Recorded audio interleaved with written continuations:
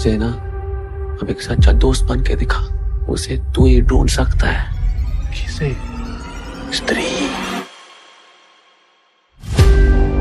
प्यार और इज़्ज़त जो इस शहर ने उसे कभी नहीं दी और जो इस शहर की गलती थी।